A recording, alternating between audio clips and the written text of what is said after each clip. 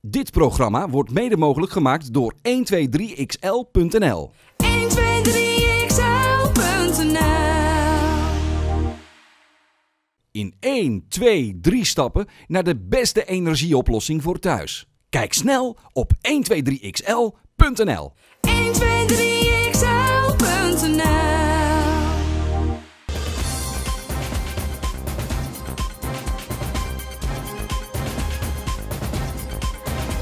Weet wat er speelt in jouw omgeving.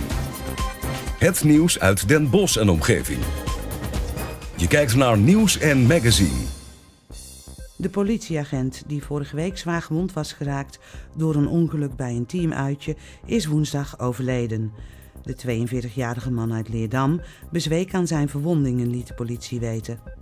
Het ongeluk gebeurde vorige week donderdag tijdens een dagje teambuilding met collega's in het Brabantse Hank. De man ging op een zogenoemde tokkelbaan naar beneden, maar de kabel knapte.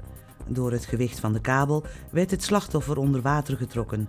Pas na een paar minuten kon hij op het droge worden gehaald. Het is nog niet bekend waardoor de kabel brak. De man werkte als agent in Gorkum. De eenheid is hierdoor geschokt.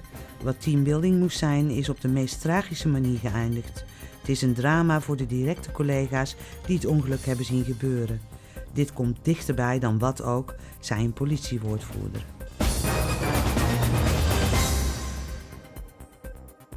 Erik Kwekel is weer terug in de selectie van FC Den Bosch. Dat gebeurde nadat in een goed gesprek met trainer Ruud Keizer de irritaties werden uitgesproken. Kwekel kwam dit seizoen een paar keer in opspraak. Dat gebeurde steeds nadat op de training duidelijk werd dat hij geen basisplaats zou krijgen.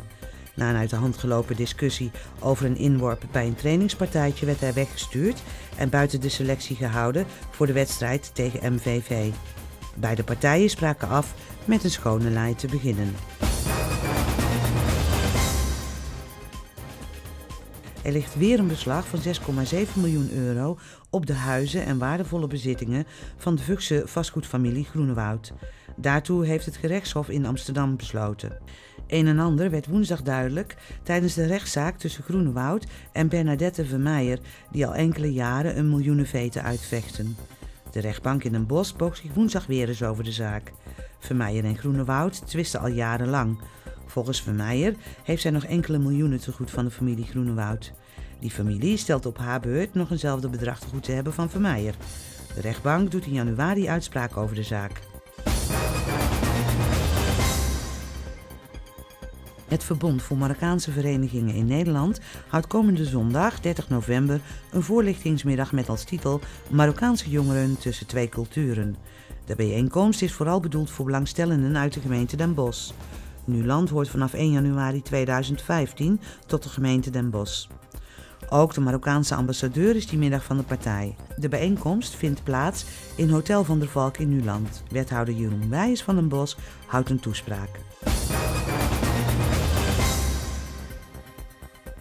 Burgemeester Rombouts moet van de Raad van State uitleggen waarom hij Loungebar Friends in een bos op slot deed na de inval van juni vorig jaar. In het café bleek illegaal gegokt te worden. Uitbater Ishak Alicicus van Loungebar Friends aan de Bosse Oude Engelensweg stapte in hoger beroep naar de Raad van State in de hoop dat hij Rombouts eens fors op zijn nummer zou zetten. De burgemeester van Den Bosch moet de Raad van State nog eens haarfijn uitleggen welk gevaar pokerende drugshandelaren voor de openbare veiligheid en volksgezondheid opleveren. In juni vorig jaar bleek bij een inval dat in het café illegaal werd gegokt. Rond 1 uur s'nachts werden elf mensen aangehouden in de zaak, waar twee complete goktafels stonden. Aan een van de tafels zat een groep mensen te pokeren. Alle aanwezigen, 10 mannen en een vrouw uit een bos en omgeving tussen de 24 en 50 jaar oud, werden aangehouden.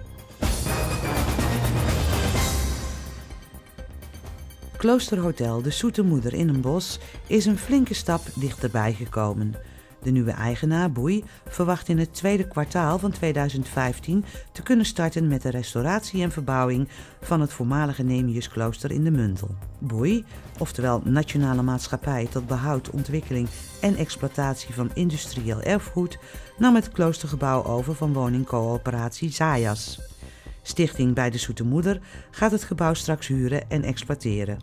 Het gaat om een design vintage hotel met 24 kamers en een restaurant waar jongeren met afstand tot de arbeidsmarkt onder begeleiding werkervaring op kunnen doen.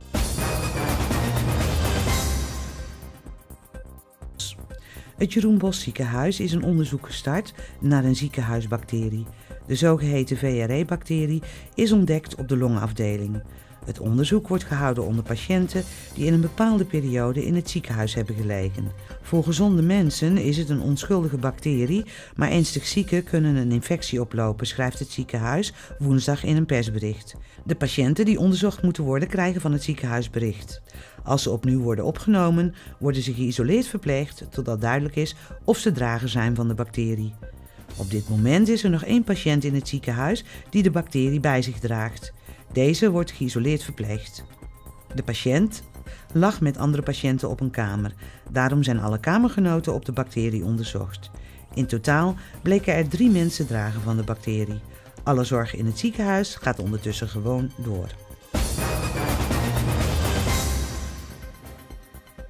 Architect Dries Krijkamp is dinsdagnacht op 77-jarige leeftijd overleden in zijn woonplaats Vlijmen. Hij is vooral bekend geworden vanwege de bolwoningen die rond 84 in een bos zijn gebouwd. Krijkamp, in 37 geboren in Tegelen, volgde meerdere kunstgerelateerde opleidingen en heeft een veelzijdig oeuvre. In 64 werkte hij in de Koninklijke Nederlandse Glasfabriek, waar hij kristallen bolvormen ontwikkelde. In 65 ontwikkelde hij in Denemarken zijn eerste bolwoningen, gemaakt van hout en aluminium. Zo kwam hij tot de veronderstelling dat de vorm van een bol de meest organische en natuurlijke vorm in de natuur is, aldus architectenweb. Eind jaren 70 leidde dit tot het ontwerp van de bolwoning.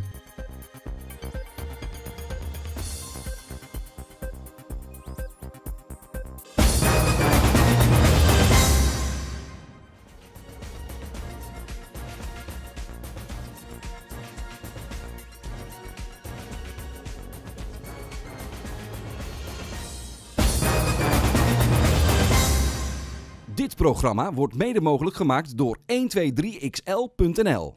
123xl.nl In 1, 2, 3 stappen naar de beste energieoplossing voor thuis. Kijk snel op 123xl.nl.